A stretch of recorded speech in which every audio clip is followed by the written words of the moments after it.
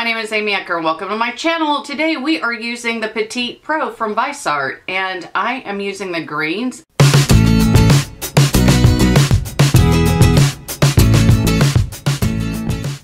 Anyways, I've had my eyes on green for a little while and just felt the need to play with this palette. So, if you want to see how I created this apple slash green eye look that is a wearable look, stay tuned.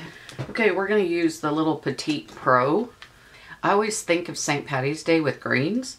So we're going to use these two little guys here as our St. Patty's Day green. We're going to start all over the lid with this pinky color. Okay, I'm going to go in next with this dark kind green. like an emerald green, but then with a bit of black.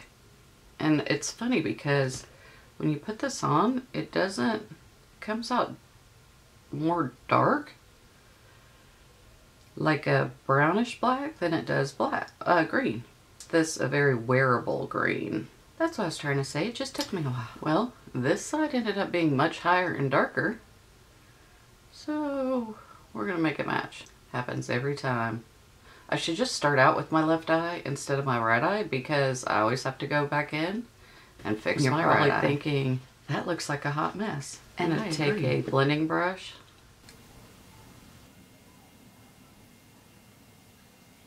Okay, now we're going to get into this luscious little green apple right there. Okay, I'm going to go back with the dark green brush, the dark green on the brush. I'm going to go in with this teal. May look like a hot mess by the time I'm done on a flat brush here, I'm going to use the dark green for underneath the eye. brush, I'm going to pick up that apple green again and go on the inner corner of the eye. And then I'm going to sweep that below that Okay, so green. I'm going to go ahead and do my eyelashes off camera because that is the one of the most boring parts. Uh, so I will be back shortly. Thank you so much for watching this video using the Viseart Petite Pro. This is a very petite little package, that is for sure.